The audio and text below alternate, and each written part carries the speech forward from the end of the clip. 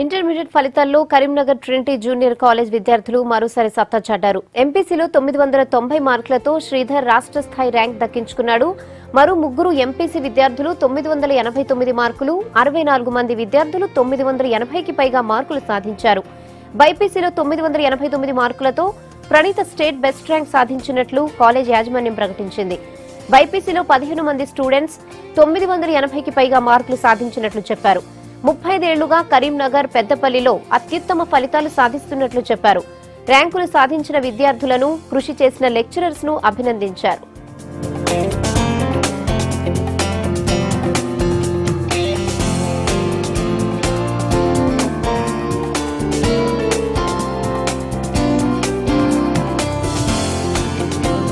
Inter ద్వితీయ మరియు మొదటి సంవత్సర ఫలితాల్లో ట్రినిటీ కళాశాల నుండి అత్యధిక మార్కులు సాధించుకోవడం జరిగింది.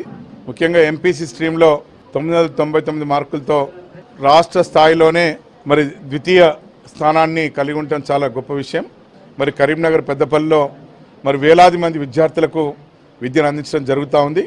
ప్రకటించిన ఇంటర్ ఫస్ట్ ఇయర్ మరియు సెకండ్ ఇయర్ ఫలితాల్లో ట్రినిటీ విద్యా సంస్థల పిల్లలందరూ చాలా అద్భుతంగా ఫలితాలు సాధించడం జరిగింది. బాగా చదివే పిల్లల్ని పిల్లల నుంచి బాగా మార్కులు సాధించడం కాదు మరి చదువులో వెనుకబడిన పిల్లల నుంచి కూడా ఎక్కువ మార్కులు సాధించి వాళ్ళని ప్రథమ స్థానంలో నిలిపి నిలపగల ఏకైక విద్యా సంస్థ ట్రినిటీ విద్యా సంస్థ అని తెలియజేస్తున్నాం. అందరికి ఎంకరేజ్మెంట్ ఉంటు- ఉంటుంది. అందరినీ బాగా మోటివేట్ చేస్తారు. అన్ని ఫెసిలిటీస్ ప్రొవైడ్ చేసి అన్నీ బాగా ఎక్స్ప్లెయిన్ చేస్తారు.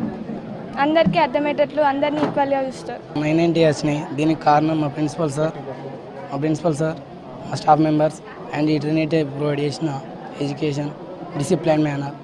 అన్నీ చాలా మంచిగా ప్రొవైడ్ చేస్తాయి యూనిటీ దానివల్ల నేను నైన్ నైంటీ సాధించడం జరిగింది.